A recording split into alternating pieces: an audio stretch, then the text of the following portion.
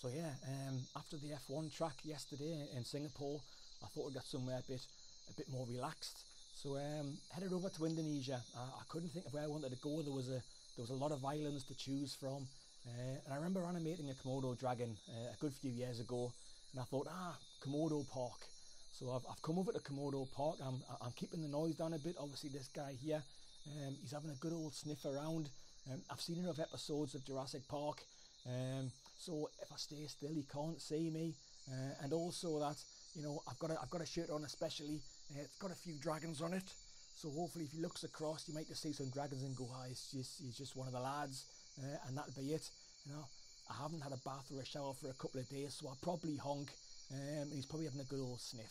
So I'm just I'm just trying to keep it a bit a bit quiet, really. Um, I'd like to go across and get a bit closer to him, but I've I've got a really squeaky chair, as you can uh, maybe you can, hear every now and then.